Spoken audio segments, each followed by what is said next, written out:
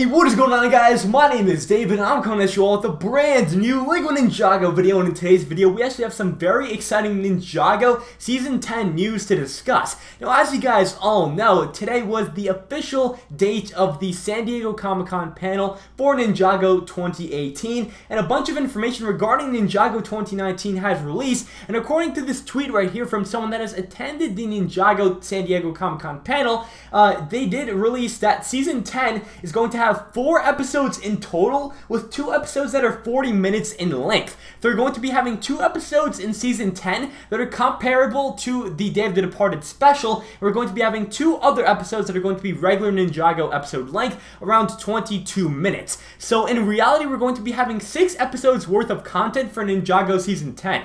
And this is actually kind of underwhelming because I don't necessarily know how I feel about this. Of course, this is going to be one of the shortest Ninjago seasons yet, and I really didn't like that, especially when the shortest Ninjago season that we ever got yet was rebooted, and I felt like they didn't really have enough time to flourish that story. Although it is still a very nostalgic season for me, I don't necessarily know how I feel about that. And of course, with season 10 only being six episodes, which is two episodes less than rebooted, I really don't know how to feel about this. Of course, if they do make excellent sets along with an excellent storyline, I really won't be that upset, but I really want to hear what you guys think about this down in the comment section below. If you guys enjoyed today's video, then of course, please leave a like on it and subscribe for more LEGO Ninjago videos from you guys each and every day. And finally, hit that notification bell so you guys don't miss out on any more of my Ninjago content. And I'll catch you all in the next one. Peace out, guys.